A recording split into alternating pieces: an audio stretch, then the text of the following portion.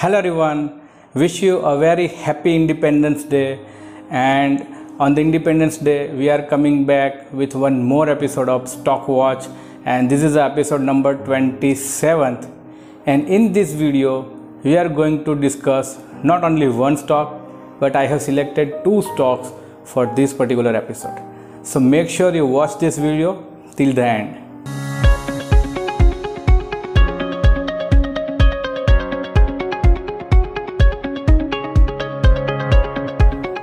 My name is Yagnesh Patel and we are again back with one more episode. And today's episode we are going to discuss total two stocks. And I'm not going to reveal the name of the stock. So make sure you watch this video to till the end. And yesterday uh, on the occasion of this Independence Day we have released one video about swing trading strategy. So if you haven't watched that video then I'm going to give you the link into description and you can also find here. So watch that video. Might possible it will change the perception about your trading. Okay. So make sure you watch that video and you can also learn how to do swing trading if you are busy with your jobs and the other businesses. So this is a very powerful technique if you are not sitting in front of the screen all the time. So coming back to this video uh, we are going to discuss two stocks and I'm not going to share the name of the stocks but I want to give one information about my uh, the stock watch series okay? Uh, many times we have seen whenever we uh, upload the video uh, very next week we met the target of particular stock. Sometime we will get some time to achieve the target or maybe sometime it will hit the stop loss after some time so it is not going to possible all the time. Whenever we upload the video it will suddenly hit the target very next week so kindly be patient. Sometime it will take time. And this is a stock market and it is it is a probability game. Okay? So sometime your probability will be in your favor and sometime it will be not in your favor. So be patient and wait for the levels which we have discussed on particular videos. So uh, kindly be patient. This is the main information i want to pass to all of you. And now we are going to discuss and analyzing two stocks. So let's jump to the screen. Hello everyone. Welcome to the screen and you can able to see the chart of Havells. This is the daily chart and spot price chart. And uh, we are going to analyze uh, the time frame, different time frame for Havells. And we have categorized this stock as a selling stock for coming week. So let's find out the reasons why this stock has given uh, the signal for the bearish stock for the coming week. So moving forward to the time frame from the higher time frame weekly, and we can see uh, before that we are also going to analyze the monthly or time frame also. So here you can see previous month July was a doji candlestick. Doji candlestick high is a testing here, and uh, we can see we have seen some uh, bearish signals on daily charts so first of all, we have seen why the bearish signal comes on the daily smaller time frame because of this monthly resistance of this doji candle. Okay, and also there is a retracement resistance also there, and we have seen a 50% retracement comes around say of 627 level. Uh, here you can see. So that's why there are two reasons uh, we can see uh, the stock is facing resistance on a higher time frame and the RSI is also trading between 60 40 so it's kindly of sideways for medium uh, long term horizon because this is a monthly time frame. So let's find out the weekly chart also. And weekly we have seen uh, one more doji candlestick uh, which is a reversal candlestick pattern.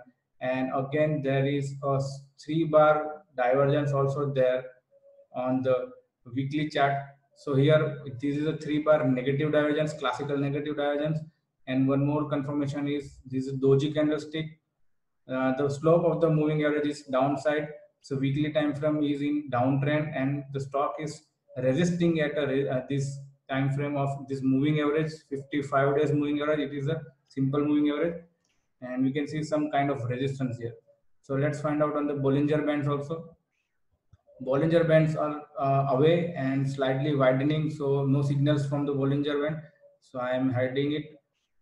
And we have seen uh, multiple time frames like uh, monthly is showing some kind of re resistance. Weekly, there are moving average resistance, doji candlestick, three bar negative divergence, and also the last week candle, not this week, uh, previously week, we have seen a good bullish candle, but lower volumes.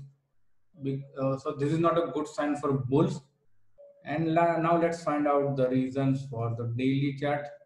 And we have seen here is a resistance zone for this counter. I'll mark the resistance zone. You can see here is a support and resistance. So clearly here there was a support area which has broken out and stock has tried to go above the support zone but not able to sustain and selling pressure started from this zone. Okay. And we have seen a good selling. After that the moving average resistance was there. Slightly here it is a breakout of moving average and stock was moving upside. But at the same area here is the same area around 620 and 635 this 15 point gap is a very, very good area of resistance for Havells stock and we have seen some bearish candlestick also this is a doji this is a bearish candle and bearish engulfing candles also pattern formation here. And again one more um, bearish candlestick pattern. And you can simply say one more thing. When the stock has giving upside move from here to here from lower level to here we have witnessing a declining in the volume which is a concern of sign for bulls if the rally is really sustainable then this volume should be higher compared to this one. But on a higher volumes on a higher higher price volume is declining. So there is a divergence in volume and price. So that that need to be also considered one more thing is there are multiple of negative divergences are there. Here we can see from here to here. And one more is from here to here. There is a divergence. And lastly third divergence is also there. This is a four bar divergence. Again very very powerful. And this is the last three bar divergence. Okay price is making new high but uh, RSI is making new low. It is not going upside. So it's a clear cut divergence and multiple of divergences are there. Okay so there is a very good sign. Divergences are the very good sign of reversals and here the multiple of divergences are there total three divergences are there on the daily time frame so this is ideal condition for this stock. It is witnessing some kind of resistance here, and also volume is also confirming this uh, this confirmation. Now setting a Bollinger Band. So Bollinger Band, uh, we have seen multiple of times that it has tried to go up, but again go up, come down, breaking up. But uh, next trading session it has come down. And here is also trying to go upside but forming some kind of reversal patterns reversal divergence negative divergence which is a reversal sign. And inside outside also there. And we have witnessed a reversal candle here on the last trading session which is a confirmation. So i'm heading the bollinger now. And uh, if we if we can say the stock is facing a resistance on monthly time frame Weekly is also suggesting some kind of bearish signals, and daily there are multiple of signals. Okay, so these are the uh, indications from this talk that might possible some kind of selling uh, may appear in Havells counter. So now let's talk about the levels. So I'm removing this support resistance zone and now we are talking about the levels. So if you are going to take a short sell then your on this candle highs you can see multiple of highs are same uh, 620 620 and 621 so we are going to place stop loss at 625 above the high and this is our area of stop loss. I am forming a horizontal line at 625 level. So it will be very visible to everyone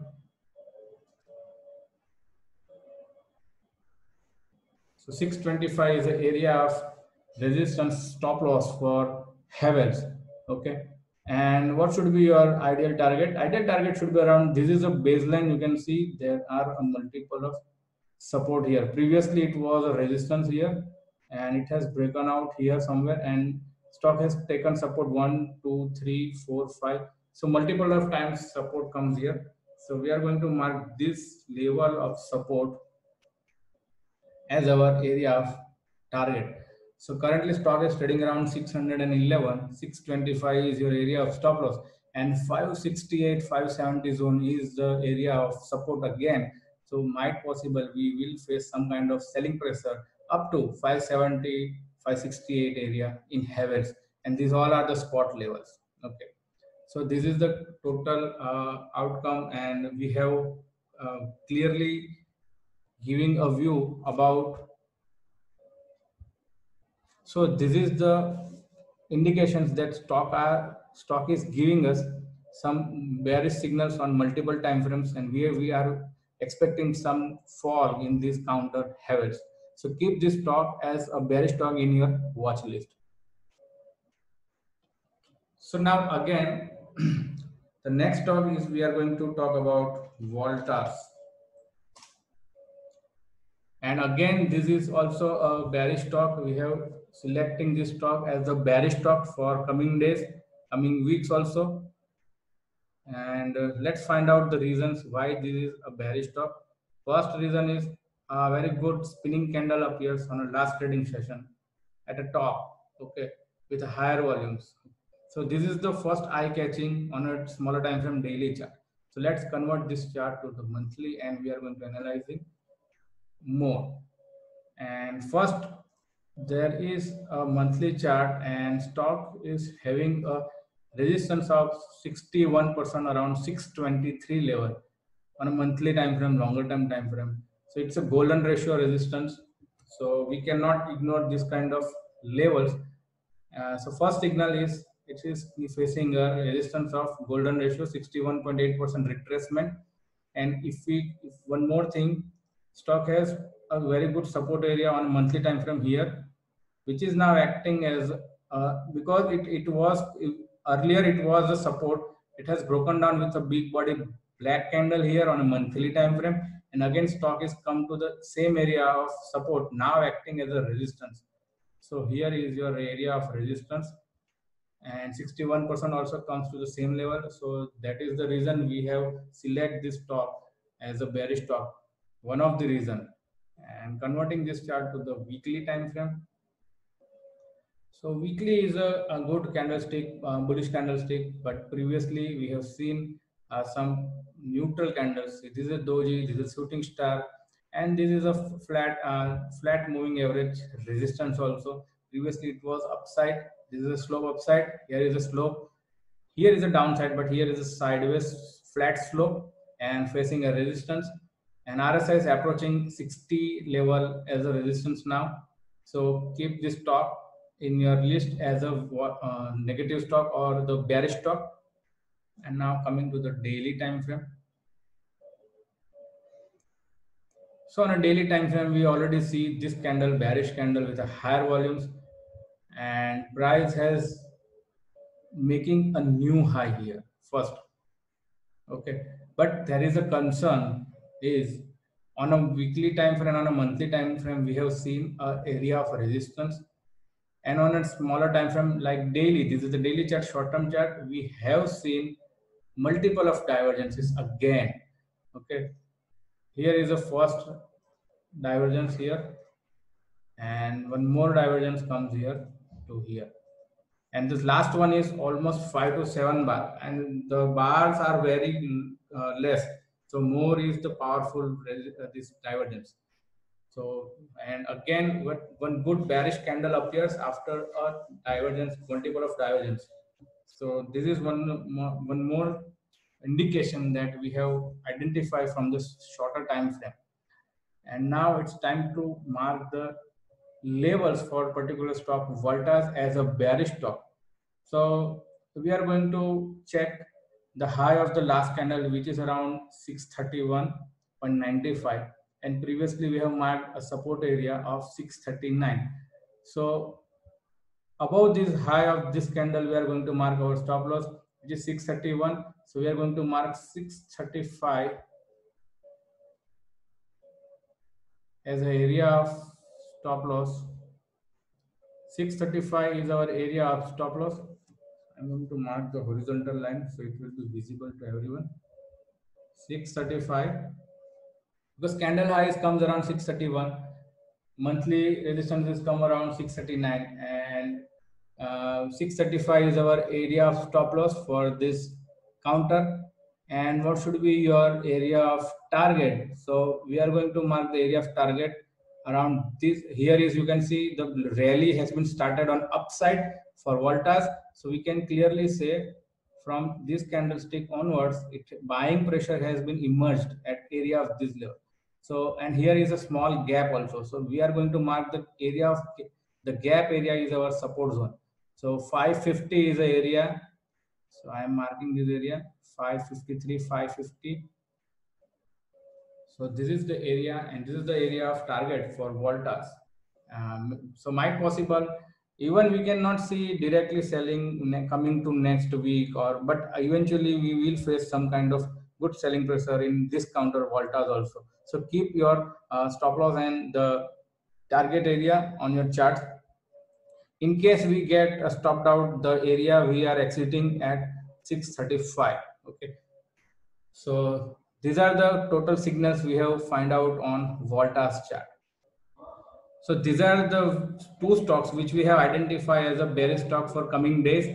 And if you like the way we analyzing the stocks and how we built up our view for particular stocks then hit the like button and do subscribe to my channel. Wait for my another video. Thank you so much